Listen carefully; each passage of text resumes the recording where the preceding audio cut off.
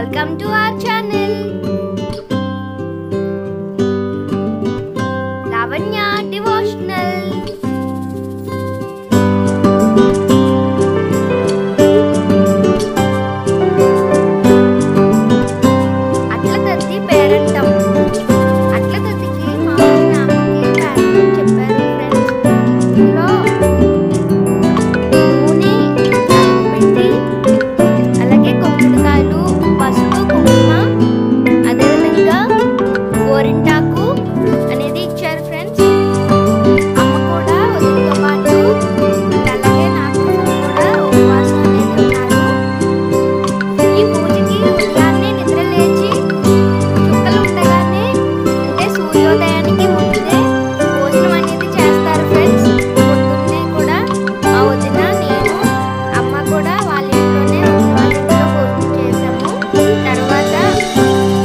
పదకొండు అట్లు చొప్పున అట్లు అనేది వేస్తారు.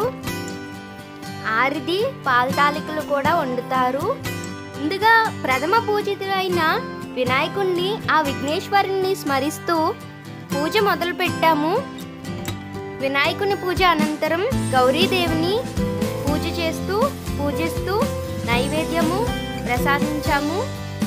పూజ అనంతరం పూజ చే దగ్గర ఉంచిన తోరాల కట్టుకొని తాంబూలాలను పదకొండు మందికి వాయనం ఇవ్వాలి.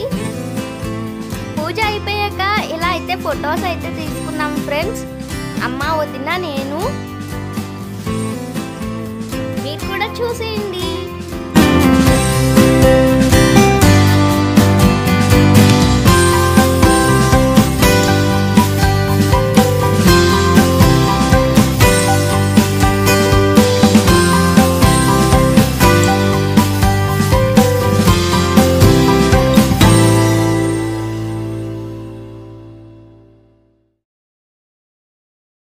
మా ఇంట్లో కూడా ఈ విధంగా పూజ అనేది చేశాను ఫ్రెండ్స్.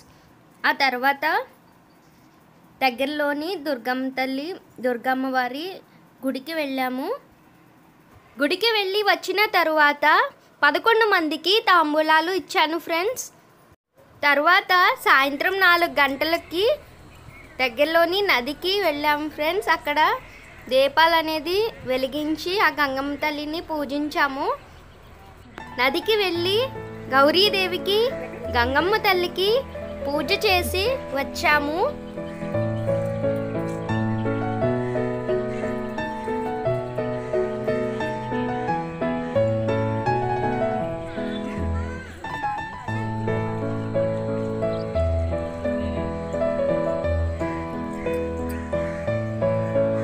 దీపక్ దీపక్ ఇటు చూడు.